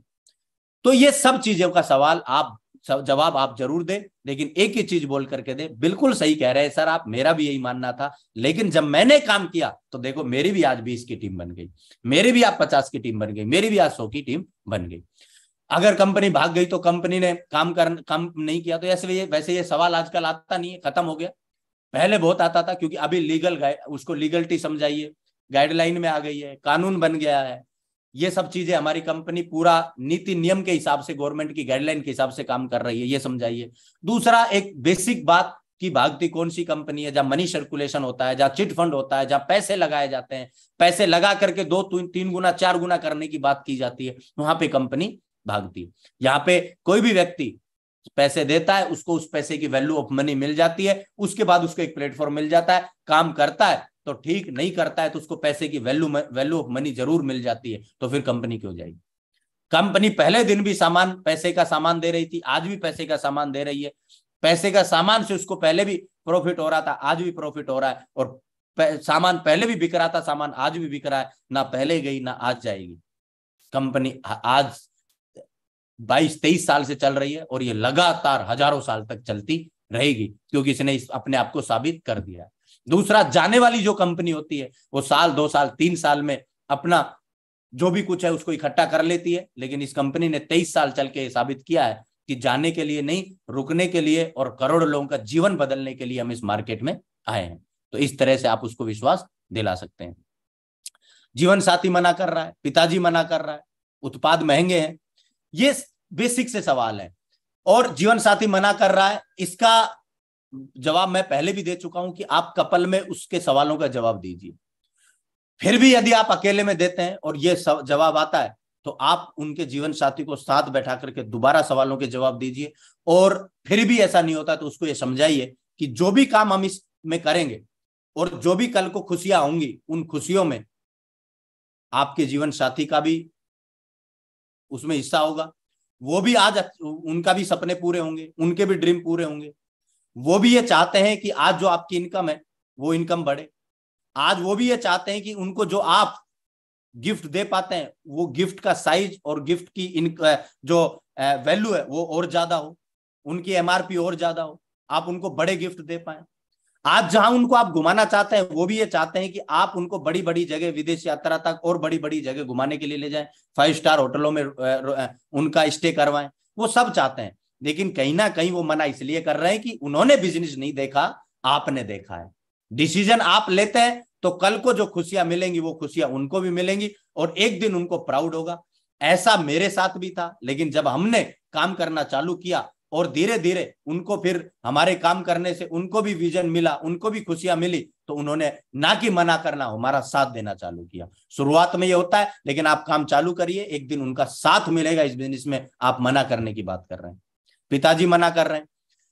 कोई भी काम बताइए सर, आप आज से पहले कि पिताजी सिर्फ़ हमें बड़ा करने का काम करता है, लेकिन बड़ा होने के बाद हमें किस दिशा में आगे बढ़ना है? पिताजी की सिर्फ़ एडवाइज होती है डिसीज़न एज ए मेच्योर हमारा खुद का होता है।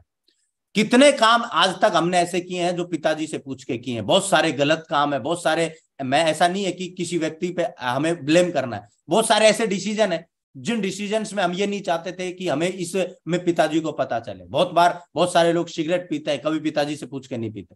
बहुत सारे लोग ड्रिंक करना चालू करते हैं, कभी पिताजी से पूछ के नहीं करते। बहुत सारे काम हम जब ऐसे करते हैं जिनमें हम पिताजी से नहीं पूछते, जो गलत होते हैं तो इस अच्छे काम के लिए क्या आप चालू करके और पिताजी को प्राउड महसूस करवाएँ, ऐसा आप कर सकते हैं। मेरे साथ भी हुआ था, लेकिन मैंने काम करके दिखाया। पहले दिन मेरे भी पिताजी मेरे साथ नहीं थे, क्योंकि उनको डर होता है, उन्होंने हमें पढ़ाया है कि हम एक अच्छी नौकरी करें। हम किसी भी परमानेंट एक इनकम में जाएँ, लेकिन जब हमने उनको समझाया, उनके थोड़ा सा विपरीत जाकर के हमने अपना खुद का डिसीज़न लिया, क्योंकि जीवन अपना है। उन्होंने अपना जीवन जी लिया है, जीना अब हम है। उनका समय था, उन्होंने जैसे भी इस जीवन को जिया, लेकिन अभी जीवन हमें जीना है। आने वाले समय में बच्चों की डिमांड्स जो बढ़ने वाली है, वो हमारे से बढ़ने वाली है। सपने बड़े हो रहे हैं बच्चों के, वो पूरे हमें करने हैं। स्कूलों की फ़ीस बढ़ बढ़ रही है, वो हमें भरनी है। हाँ बच्चे यदि हमसे कोई डिमांड करेंगे कहीं घूमने फिरने की तो हमें करने आज लाइफ स्टाइल बदल रही है, उस लाइफ स्टाइल के लिए, बदलने के लिए पैसा चाहिए, उसको हमें पूरा करना है। पिताजी को नहीं करना तो सर डिसीज़न आप लीजिए। पिताजी ऑटोमेटिक जब आप कुछ करके दिखाएँगे तो आपके साथ ऑटोमेटिक आ जाएँगे। उत्पाद महँगे, बिल्कुल सही कह रहे हैं सर आप, मेरा भी यही मानना था।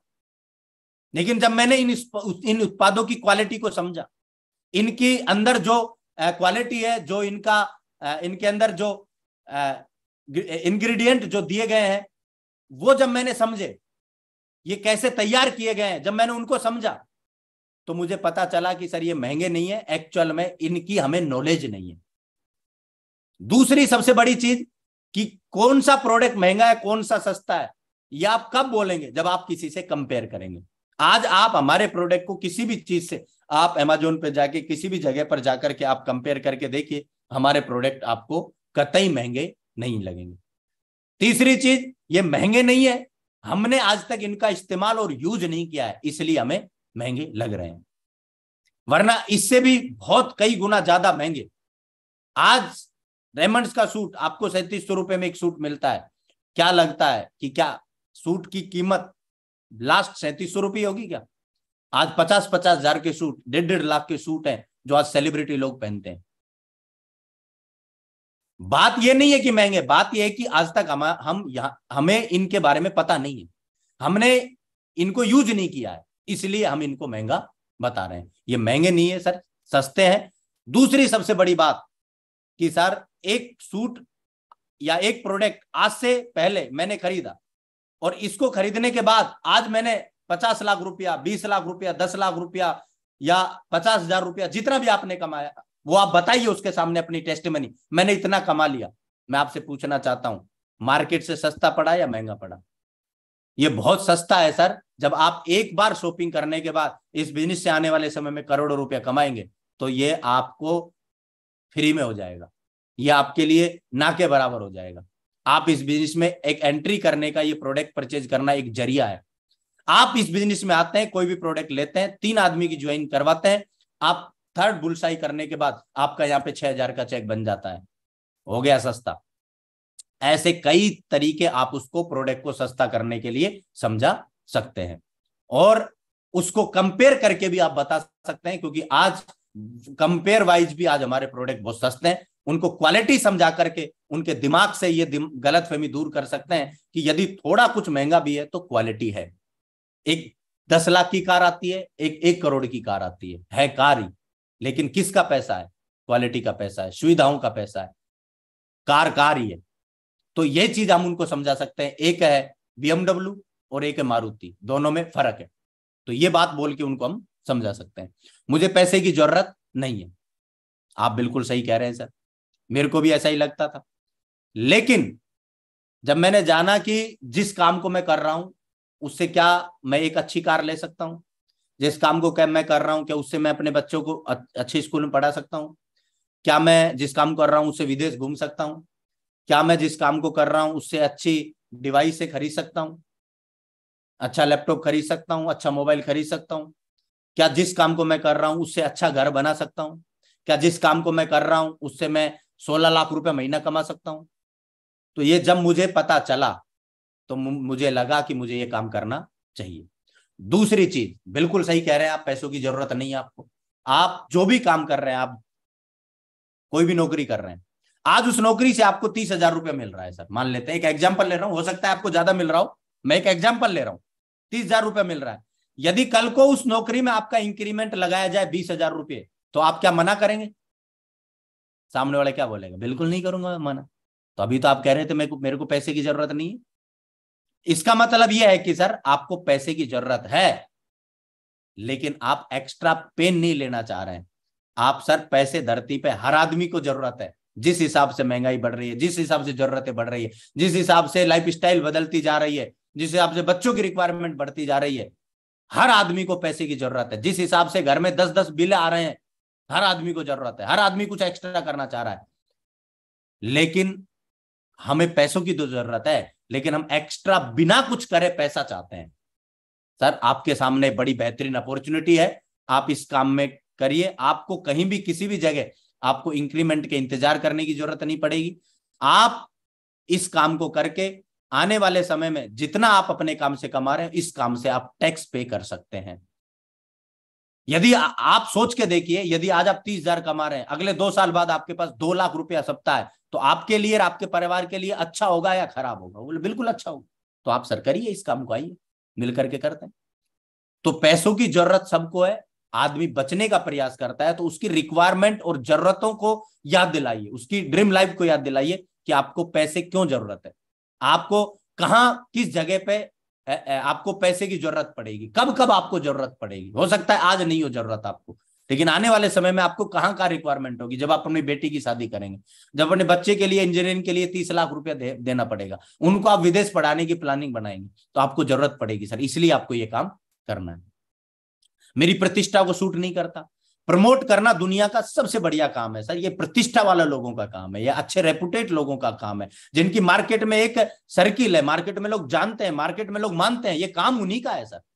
और प्रमोट करना, यदि प्रतिष्ठा का काम नहीं है तो फिर अमिताभ बच्चन गलत है, सर। फिर सलमान खान भी गलत है, फिर विराट कोहली गलत है, फिर महेंद्र सिंह धोनी गलत है। ये सारे लोग क्या कर रहे हैं?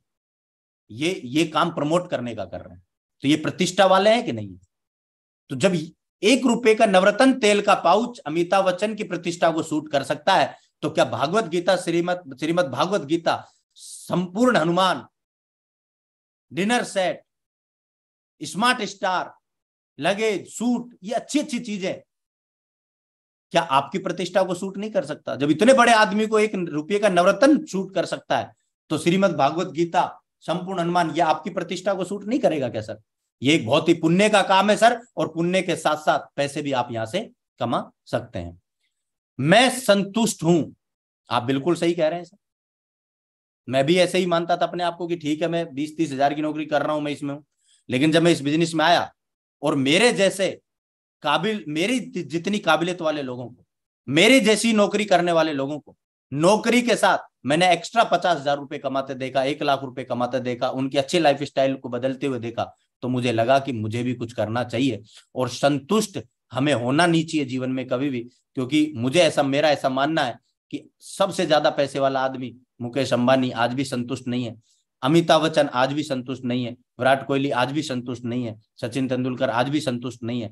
दुनिया में जितने भी लोग बड़े और महान बने हैं, वो कभी संतुष्ट नहीं हुए हैं। और हमें भी नहीं होना चाहिए। हो सकता है आप तो संतुष्ट हो जाएँ। मान लेते हैं, ठीक है, आपकी पर्सनैलिटी है कि मैं संतुष्ट हूँ, लेकिन क्या लगता है कि आपको आने वाले समय में अपने इस संतुष्टि का जवाब अपने बच्चों को देना पड़ेगा कि नहीं पड़ेगा?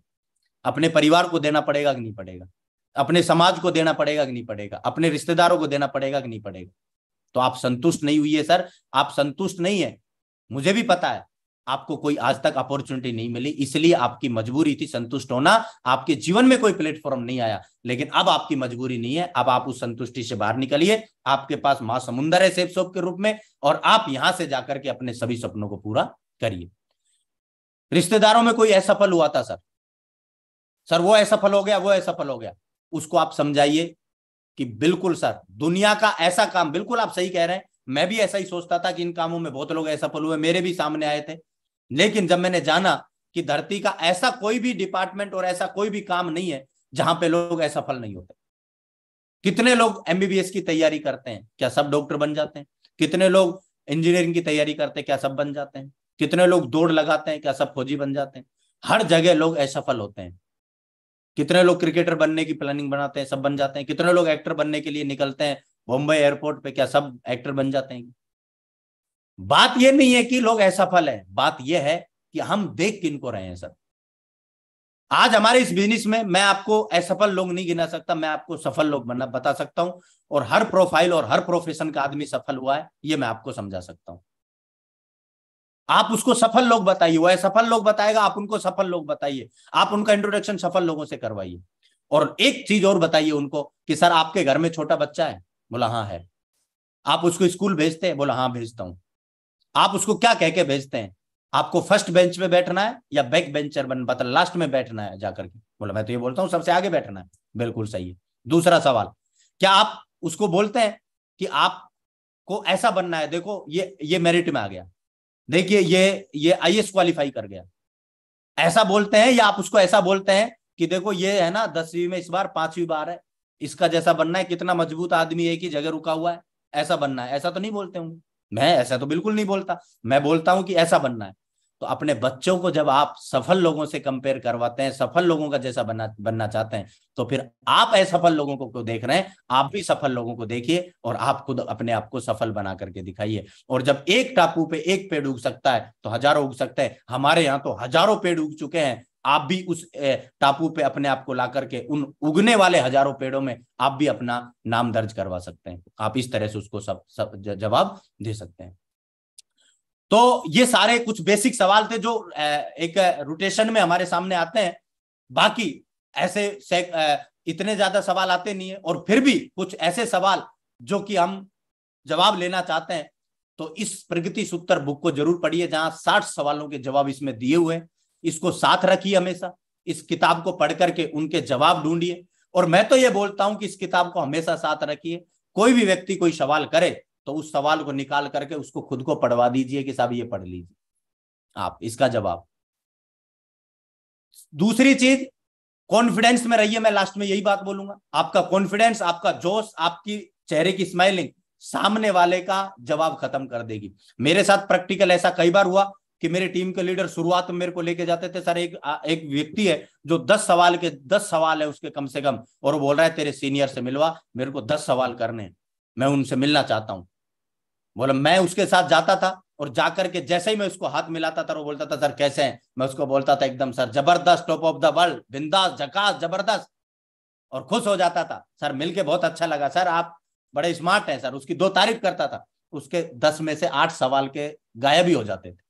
तो आपका कॉन्फिडेंस आपका जोश, आपके चेहरे की स्माइलिंग सामने वाले के सवाल बढ़ाएगी और कम करेगी। वो कैसी है, वो है या नहीं है, ये तय करेगी कि सामने वाला किस तरह के सवाल करेगा। सेंस वाले करेगा या नॉन सेंस वाले करेगा। तो आप पर, हम पर बहुत कुछ डिपेंड करता है कि हमारी मुलाकात और हमारा फ़र्स्ट इंप्रेशन कैसा रहता है, इस बात पे भी बहुत कुछ डिपेंड करता है। और फिर भी हम सेल्स के प्रोफेशन में है, हमें तैयार रहना है सवालों का जवाब देने के लिए हमें अपने आप को तैयार करना है और तैयार करना के लिए एक ही ज़रिया है कि आप प्रगति सूत्र को पढ़िए, इसमें सवालों के जवाब है सारे और इनको पढ़ करके, इनका इस्तेमाल करके आप अपनी टीम बढ़ा सकते हैं। बस इन चीज़ों का ज़रूर ध्यान रखें। कोई समस्या नहीं है जिसका धरती पे समाधान नहीं है। याद रखें, दुनिया में जो भी प्रश्न बने उनके उत्तर ज़रूर है। या तो आपके पास मिलेंगे या प्रगति सूत्र मिलेंगे या अपलाइन के पास मिलेंगे। लेकिन तीन तरह का संवाद होता है, तर्क, वितर्क, कुतर्क। हमें तर्क के साथ बात करनी है, वितर्क, कुतर्क नहीं करना है। कुतर्क कई बार लोग आपको भ्रमित करने के लिए कर सकते हैं, लेकिन उनसे डरे नहीं, मिलते रहे। आज नहीं तो कल उनको समाधान मिल ही जाएगा। ना कुतर्क वाले लोगों से ज़्यादा मिलना है, वितर्क, कुतर्क वालों से, ना हमें कुतर्क वाले लोगों से कुतर्क करना है। हमें जेनवन सवालों का जेनवन जवाब देना है और उसके साथ हमारा रिलेशन बना रहे। इस तरह से हमें करते रहना है। हाँ इस बिज़नेस में एक्सपर्ट बनने के लिए लगातार ये जो काम है, ये सवालों का जवाब देना, उसके लिए हमें तैयार करना, ये प्रैक्टिसिंग है। लगातार प्रैक्टिस करते रहिए। Practice makes a perfect man perfect हमें परफेक्ट बनाने में हमें प्रैक्टिस लगेगी। लगातार लोगों के बीच में ना कोई किताब, ना कोई ऑडियो वीडियो समझा सकता, जो लोगों के बीच में जाकर के हम सीखते हैं। वहाँ जब जाएँगे तरह तरह के सवाल आएँगे मिस्टेक्स होंगी, है ना? प्रैक्टिस करेंगे तो कॉन्फिडेंस लेवल आई होगा। प्रैक्टिस से मिस्टेक्स रिड्यूस होती हैं। प्रैक्टिस करने से हार्डवर्क और प्रैक्टिस करने से सब्सिट्यूट निकलते हैं। लगातार प्रैक्टिस करने से रेगुलर प्रैक्टिस करने से हम सीखते हैं। लगातार रेगुलर प्रैक्टिस करेंगे तो हम लगातार बहुत कुछ अचीव कर सकते हैं। विदाउट मतलब we can achieve nothing without continue effort continue effort continue practice से हम कुछ अचीव नहीं कर सकते। परफेक्शन भी हमारे अंदर जो आएगा प्रैक्टिस से आएगा। रेगुलर प्रैक्टिस हमें हेल्प करेगी सक्सेसफुल होने के लिए। प्रैक्टिस ही हमें बेटर करेगी। अच्छा करने के लिए जैसा कि आपको लगता है ना, मेरा अपलाइन अच्छा जवाब देता है। मेरे अपलाइन के पास हर सवाल का जवाब होता है। वो अपलाइन पैदा होने से से नहीं दे रहा है। वो इस बिज़नेस में आने आने वाले दिन से नहीं दे रहा है। उसको अच्छा बनाया उसकी प्रैक्टिसिंग ने। उसको लगातार फ़ील्ड में जाने से। लगातार जब हम फ़ील्ड में जाएँगे, रोज़ाना काम करेंगे डेली जाएँगे तो हम यहाँ पर परफेक्ट बन जाएँगे। और एक दिन ऐसा आएगा कि आपकी मुलाकातें ही लोगों को सवालों का जवाब देंगी। आप एक फ़र्स्ट मुलाकात करेंगे, आपके अचीवमेंट ही उसके सवालों का जवाब बन जाएँगी। तो लगातार करते रहिए, लगातार चलते रहिए। इतिहास लिखने के लिए इस बिज़नेस में आए, इतिहास मिलकर के लिखना है। और ये एक इस हमारी इस जर्नी हमारी इस यात्रा का एक पड़ाव है। ये सवाल पड़ाव है, इनसे हमें आगे बढ़ते रहना है। जैसे हम जब कहीं भी जाते हैं तो रास्ते में कोई स्टेशन आता है तो स्टेशन नहीं हट सकता। हमें ही उस को क्रॉस करना पड़ता है। ऐसे ही जब यात्रा को कंप्लीट करेंगे तो ये कुछ सवाल है जिनका सामना होता रहेगा, घबराना है नहीं। कॉन्फिडेंस डाउन करना नहीं है, जोश में रहना है, खुश रहना है, मस्त रहना है, बिंदास रहना है, जवाब आता है तब भी, नहीं आता है तब भी रॉयल एग्जिट के साथ आपको वहाँ से निकलना है और अगले के पास जाकर के अपनी नई तैयारी के लिए, नए काम करने के लिए, नए लोगों के साथ मुलाकात करने के लिए हमेशा तैयार रहना है और पिछले वाले का लगातार हमें मुलाकात करके फॉलो करते रहना है। इसी तरह से हमारी एक दिन बड़ी टीम बन जाएगी। पता ही नहीं चलेगा कब दो की बनी, कब दो हज़ार की, कब दो लाख की और कब दो करोड़ की बन जाएगी। तो लगातार चलते रहिए। हमारी शुभकामनाएँ आपके बहुत बहुत साथ है। ज़िंदगी के जुनून को, जवानी के साथ जोड़ दो। इस दुनिया में कामयाबी की कहानी छोड़ दो। बहुत बहुत धन्यवाद। थैंक यू सो मच बहुत बहुत शुक्रिया। आपने मुझे मौका दिया। ग्रेट सर आपका बहुत बहुत धन्यवाद। थैंक यू सो मच बहुत बहुत धन्यवाद आप सभी। Thank you Ramkishan ji. Follow up के लिए और ज्वाइनिंग के टाइम पे जो सवाल पूछे जाते हैं, उसका सबसे बेस्ट वर्जन आज आपने दिया है। और सारे तरीके से आपने समझाया कि कैसे कैसे कौन सी कौन सी टेक्निक को यूज़ करके इंसान चाहे तो अपना फॉलोअप को मज़बूत बना सकता है क्लोजिंग बेहतरीन कर सकता है। और अपने बिज़नेस में सक्सेस के लिए चार चाँद लगा सकता है। तो आज का सेशन रियली में बहुत ही सुपर डुपर हिट रहा। I am proud of you मैं चाहता हूँ एक जोरदार तालियाँ हो जाए बब्बर शेर के लिए। ये